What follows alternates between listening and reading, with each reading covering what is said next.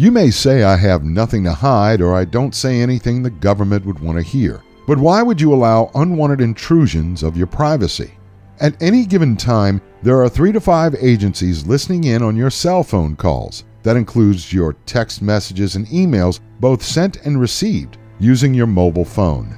DEAF prevents outside entities from listening in by cloaking your phone from all seeing technology. What they can't see, they can't hack. Sign up now for DEAF at deafprotection.com. That's deafprotection.com.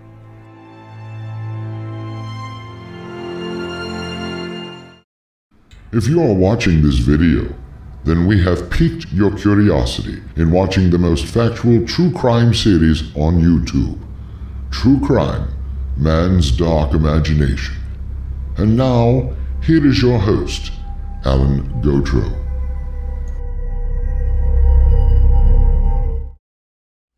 The definition of depravity is a moral corruption or wickedness. On this channel, we have profiled several individuals who basically stand as a prime example of this definition. In this profile, we see the epitome of decadence and mostly evil. Using young people as a release for certain desires, this perpetrator may have escaped earthly justice. But one in his small circle of associates determined that he reached a breaking point, and in eradicating this evil assailant, destroyed a malevolent monster.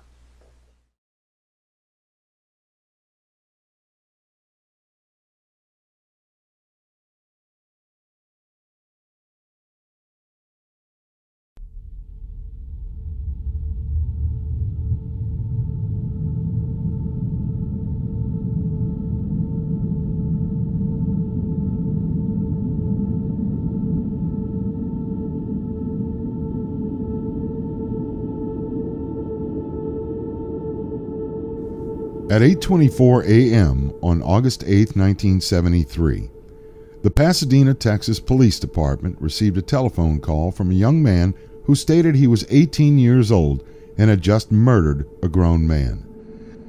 The caller gave the operator the address located at 2020 Lamar Drive. When the police made it to the scene, they noted that three teenagers sat on the front porch with a loaded 22 pistol lying nearby on the driveway. One of the young people stated that they were the one that called the police. The young man identified himself as Elmer Wayne Henley and informed the police on the scene that the dead man was inside of the house. After police confiscated the weapon and placed the three teenagers in the back of the patrol car and then walked into the house, they discovered the body of 33 year old Dean Arnold Corll, shot dead with a 22 caliber pistol. When police exited the residence, they walked over to the patrol car, read Henley his rights, and placed him under arrest for Corll's murder. Henley then shouted, I don't care who knows, I have to get this off my chest. One of the victims informed the detectives that Henley told him, I got $200 for you. As investigators delved further into the case, they realized that the man Henley killed led a life full of debauchery and became one of the most prolific serial killers in the United States at that time. Dean Corll, also known as the Candy Man of Houston, enlisted other young men to lure young boys and teenagers into his lair of torture and murder. This macabre practice lasted for a long time, and had Henley not murdered Corll, more innocent victims stood to lose their lives. Dean Arnold Corll was born on Christmas Day December 25, 1939, in Waynesdale, Indiana, to an overbearing mother, Mary, and Arnold, who, as it turns out, did not like children. Corll's parents continuously argued, and home life was anything but stellar. Arnold Corll proved to be a very strict disciplinarian to Corll and his brother Stanley, and Mary and Arnold divorced in 1946, with Arnold leaving them to join the Army. The Corll boys spent time with an elderly couple as their mother, Mary, went to work. Arnold and Mary Corll tried to reconcile, but the difference proved too harrowing. After this attempt to rekindle the marriage failed, Mary took the two boys from where they lived in Tennessee and moved to Houston, Texas. After a brief bout with rheumatic fever, the doctors diagnosed Corll with a congenital heart defect and frowned on the young man from engaging in sports. This seemed fine, as the young Corll felt more comfortable with being a loner, whereas his brother Stanley was outgoing and had a good sense of humor. Mary eventually remarried to a clock salesman, Jake West, and the couple soon had a daughter. Corll became very overprotective of his siblings and often found himself being their bodyguard. Also around this time, Corll found a hobby, scuba diving, but had to give it up when he passed out one day while enjoying the hobby, an obvious result of the heart defect. In 1953, after a brief divorce because of irreconcilable differences, Mary remarried Jake West. Based upon the recommendation of a neighbor, Mary Corll, now West, went to a small business where she sold candy out of the family's garage.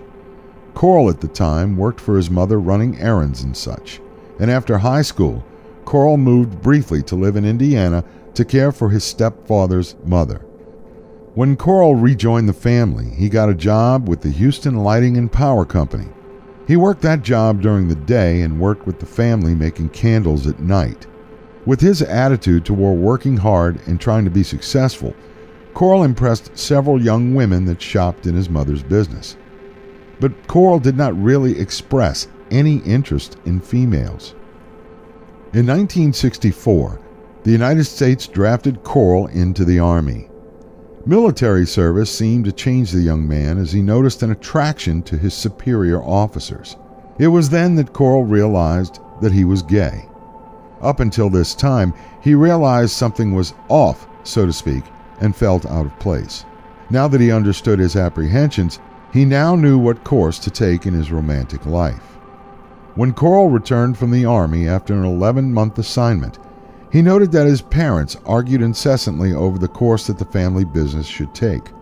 Subsequently, his father kicked Mary out of the store and she took the rest of the children and moved elsewhere, starting her own business again. Corll did not seem bothered by the conflict within the family and found himself in an apartment not too far from where his mother lived. Corll started hanging out with boys, a lot younger than he, preferably teenage boys. It was easy to get them to his apartment because he always had piles of candy lying around. Although he enjoyed the company of young boys, Corll once forced his mother to fire a male worker because he made a pass at Corll. He reacted with almost a disgusting outrage, yet still young boys felt threatened to be left alone in a room with Corll. Corll's mother decided she wanted to marry again. This time, Mary's choice turned out to be a seaman whom Mary considered quite dull and thick in the head. The marriage survived two divorces, and finally, Mary moved herself and the rest of the children to Dallas, Texas. Corll decided to stay in Houston as he wanted the freedom away from his protective mother. Corll realized that his attraction to younger boys stemmed from a protective nature rather than a sexual one. What others never seemed to realize was that Corll may have been acting as a protective sibling, yet underneath that Candyman exterior, there skulked the heart of a sexual maniac that would turn violent, given enough time. In 1969, Corll learned that some of the boys that were allowed into his apartment would accept money in exchange for oral sex. One boy in particular, 14 year old David Brooks, loved being around Corll and really looked up to the older man as a big brother and mentor. Eventually, Brooks moved in with Corll and lived there for a while as the teenager became very emotionally dependent on the elder Corll. Corll continued to work with the lighting company and decided that he needed a storage unit with which to store his other belongings. This proved to be an important fact as later events transpired. Corll turned more depressed and despondent for some reason, and Brooks tried to cheer him up. Corll continued to pay $5 to Brooks every time he wanted the teenager to perform fellatio on him. Corll decided he needed more than just the short sexual encounters he paid for with Brooks. On September 25, 1970, 21 year old Jeffrey Konen left the University of Texas campus and hitchhiked home to Houston. Corll, driving down the highway, saw Konen and decided to give him a ride. The two arrived at Corll's apartment, and after some pleasantries, Corll overpowered the young man and bound and gagged him. Corll then sexually abused the youth he held in bondage and then murdered him. Now a murderer, Corll dumped Konen's body and resumed his life as if nothing ever happened. That psychopathic demeanor finally surfaced and kept perpetuating Corll's motives over the next few years. The assailant realized that he enjoyed the wholesale, uninhibited torture of young boys. He found sexual satisfaction in the brutal treatment and then sodomization of young boys. Corll now believed he could find a steady supply of victims, luring them to his apartment and offering them drugs and alcohol in exchange for sexual favors. Even though some of the boys would perform oral sex on the older man for a mere $5, Corll soon became dissatisfied with just that facet of homosexual sex. Corll wanted penetration. He wanted sodomy, and his anger escalated to the point of brutality and even murder. In a later interview, Brooks told police that one day he arrived at Corll's apartment unannounced. When he opened the door, Brooks noticed Corll wandering the apartment nude. When Brooks went into the bedroom, he found two young boys strapped to what can only be described as torture boards. Brooks left the apartment feeling used and depressed. Subsequently, Corll tried to make it up to the young man by buying him a new Corvette. According to Brooks, this gift was meant to buy the young man's silence as Corll admitted to him that he killed the two young boys from the apartment and dumped their bodies. But the Corvette would serve another purpose for Corll. Brooks would drive him around to find other victims. On one occasion, Corll and Brooks cruised the local areas, and one youth accepted their offer of dope smoking and partying all night. Corll subdued the young boy and tied him to his torture rack, brutalizing and then sodomizing the youth. Brooks witnessed Corll strangle the young boy to death, then assisted the serial killer with dumping the body near Lake Sam Rayburn. Prior to his 31st birthday, Corll decided to have a party at his apartment on Columbia Street in Houston. On December 15, 1970, Brooks and Corll lured 15 year old Danny Yates and 14 year old James Glass to the apartment for a party. Ironically, Yates and Glass were friends who met at a church social group. Brooks related that Corll moved swiftly to subdue the boys, tying them up and then sodomizing them. Brooks watched as Corll strangled both boys to death. But instead of dumping the bodies, Brooks and Corll brought them to a boat shed that Corll recently rented on Silver Street. On May 29, 1971, Corll went cruising in his white van when he noticed two young boys walking along the street. The two boys headed to a swimming pool, and then when Corll approached them, they accepted a ride. The two boys, David Hillegeist and George Winkle, got into the van and off they went. Once they arrived at Corll's apartment, the older man quickly subdued them, tied them up, and tortured them. Corll then forced Winkle to call his parents later that evening and told them he was going to Freeport with some friends. The assailant then sodomized and murdered the two young boys. When the two boys did not return home over the following days, their parents circulated posters and handbills with contact information should anyone see the two. The parents even brought in a psychic that informed the parents that David and George were dead. One of David Hillegeist's best friends Elmer Wayne Henley, took a special interest in the families of the missing boys and sought to comfort them as much as possible. On August 17, 1971, 17 year old Reuben Watson left his residence and decided to go to the cinema. As Watson walked along the street headed toward the movies, Corll and Brooks slowed down beside the young man and offered him a ride to his destination. Watson accepted and instead of heading to the movies, the three wound up at Corll's apartment. Corll dehumanized Watson until his boredom took over and he killed the young man. At this point, Brooks became a willing participant in Corll's dark consumption of young human lives. Corll seemed to be growing bored of Brooks as well, and when he met another young man, he gave his proposed protege a task knock out Brooks. The associate did so willingly, and when Brooks awoke, he noticed an extreme pain in his rear area and he was tied to a torture board. Despite the treatment dispensed to him by his mentor, Brooks did not speak of the incident until much later. But Brooks remained very loyal to Corll. The newest member of this demonic triumvirate was Elmer Wayne Henley. Corll came to the realization that he fell in love with Henley and admired his independence, something that Brooks did not display due to his emotional dependence on Corll. Furthermore, Corll knew that he could buy Henley, and the young man would do anything for money. Henley later denied that Corll offered $200 for every male that Henley brought to the torture chamber, but the young man denied it. Corll even went so far as to justify his murder of the young males by saying that they meant nothing to society and they would not be missed, with most of them being delinquents and a burden. Corll proved insatiable when it came to sex and murder. By September 27, 1971, Corll decided he needed to be quenched. So he and Brooks kidnapped brothers named Jerry, 14, and Danny, 13, Waldrop.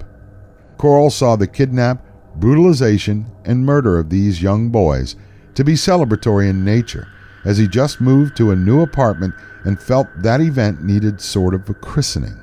The Waldrop brothers underwent the same torture as Yates and Glass, even the disposition of their bodies at the boat shed, which started to follow a familiar pattern that Corll began. On February 24, 1972, Corll abducted and murdered Frank Aguirre, 19 years old. This murder took place in front of Aguirre's girlfriend, 14 year old Rhonda Williams. Subsequently, without Williams's statement, no one would have believed the sheer evil that Corll exhibited on young men and children. On May 21, 1972, Corll, Brooks, and Henley grabbed two victims for Corll's consumption 16 year old Johnny DeLome and 17 year old Billy Baulch. Corll and the other two brought DeLome and Baulch back to Corll's apartment where the older man tortured and raped the two boys for hours. Henley shot DeLome to death, with Corll strangling Baulch. Michael Baulch, Billy's brother, later became Corll's victim in November of 1972. Again, Corll ordered the corpses deposited on High Island where they were buried. On October 3, 1972, Henley, Brooks, and Corll abducted 13 year old Richard Hembree and 14 year old Wally Simoneaux and brought them back to Corll's apartment.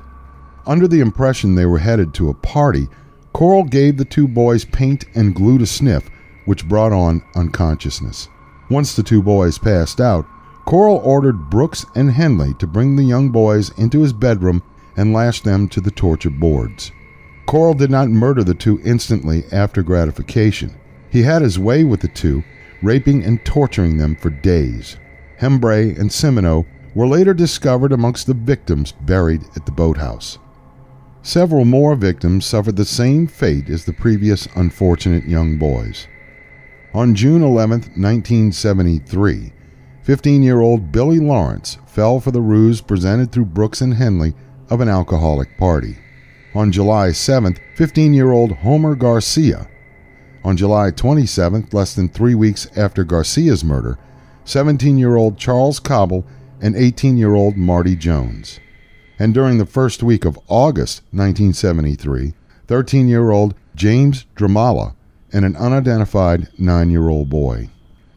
In the afternoon of August 8, 1973, Henley arrived at Corll's apartment with two more intended victims 16 year old Timothy Kerley for Corll, and 14 year old Wanda Williams, the former girlfriend of victim Frank Aguirre. Williams decided she wanted to run away from home and took Henley into her confidence with this decision. Corll flew into a rage when Henley brought Williams to the apartment. When the three finally became unconscious, Corll decided to teach Henley a lesson when he finally awoke along with Kerley and Williams. When they awoke, the three realized Corll had tied them up, but not to the torture boards, not yet. Henley knew what was going to happen when he saw Corll's face, still expressing the rage of Williams's appearance at the apartment. Henley pleaded with Corll to let him go, stating he would rape and kill Rhonda Williams while Corll did the same to Timothy Kerley. Corll then took Kerley to his bedroom and forced the young man to disrobe, gagged him, and tied him to the torture board. After untying Henley, Corll motioned to Henley that he do the same thing with Williams. The point came to Henley where he had to maintain his end of the bargain regarding his freedom. Henley had some difficulty achieving an erection, and Corll, who found the predicament humorous, began to cruelly taunt the young man. Henley decided at that point he had had enough of Corll and picked up a nearby 22 caliber revolver and pointing it at the older man. When Corll saw that Henley brandished the revolver, he taunted the young man even further. He mocked Henley when he said, Go on, Wayne, kill me, why don't you? Corll moved toward Henley, and the young man fired six shots into Corll's chest, killing him instantly. It was then that Henley called the police. After rescuing Kerley and Williams, Henley later decided to tell the police the whole truth about the reign of terror that Corll's projected onto the local Houston, Texas population and the metropolitan area. The young man told of the parties, the torture, the depravity, and the murders. Henley also listed the names of the victims in order to convince the police that his statements proved genuine. The authorities realized that three of the victims appeared on their missing persons list. When Henley notified the police of the boathouse, investigators descended on the property. The first body found was that of the 13 year old's remains wrapped in a large garbage bag. At that point, crime scene investigators were called and the excavations began. The smell of decaying human remains permeated the air, and Henley, whom authorities brought to the site in the hopes of identifying some of the corpses, allegedly cried as each body was unearthed. Henley said, It was all my fault because I introduced him to the boys. Henley then delivered the whole story to the police as he related about the lure of drugs and alcohol to the young victims. Henley also admitted to committing some of the murders himself. David Brooks, who had escaped some time earlier from Corll's clutches, watched the news on the television and decided to go to the police and tell all he knew. When Brooks arrived at the police station, interrogators notified Henley and he stated, Good, now I can tell the whole story. Authorities wondered what other depraved details Henley would offer. Brooks related that the three of them, Corll, Henley, and himself, were involved in the killings after Henley joined the trio. Brooks then stated that Corll loved to watch people in pain. David Brooks faced trial, and the state of Texas found him guilty in six of the murders. Henley stood trial in July 1974 and was found guilty of murder. The court sentenced him to six 99 year terms of imprisonment. Henley's shooting of Corll proved to be justifiable homicide. In December 1978, the Texas Supreme Court overturned Henley's conviction, citing pretrial publicity that prejudiced a fair trial. In June of 1979, a court again convicted Henley of the murders and bestowed a sentence of life imprisonment without the benefit of parole. In 2006, both Brooks and Henley, then in their late 40s, still sat in prison. Every three years, they make application for parole, and in each instance, the parole board rejects those appeals. Henley, like most lifers, took up painting and raised the uproar of parents of the murdered children when he tried to sell them on eBay. This reminded some of another serial killer who painted as he waited for the final judgment.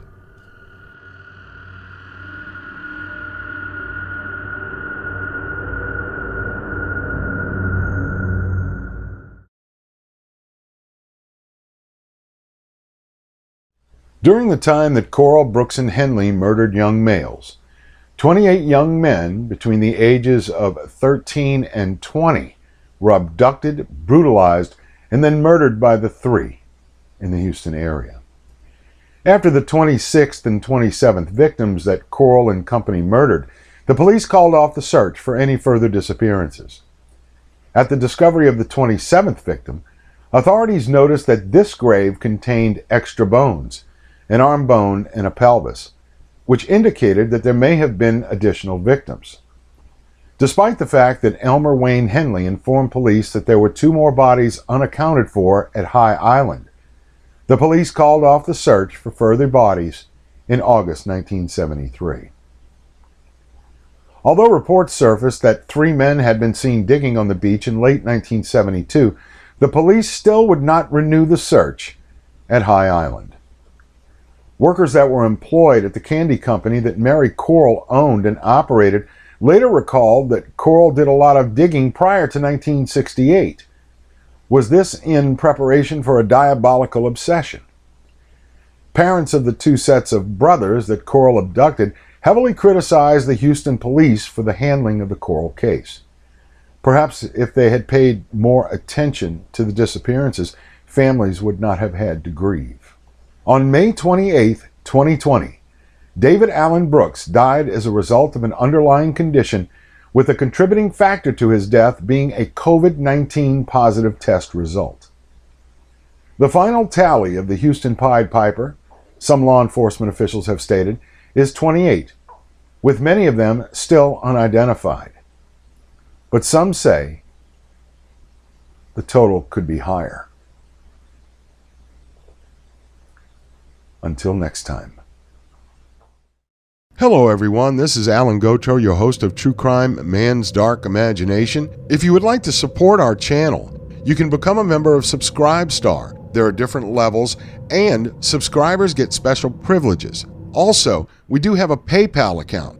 If you enjoy our work here, please think about subscribing. I will leave the links below in the comment section. We thank you very much for your viewing, and please stay tuned for future programs.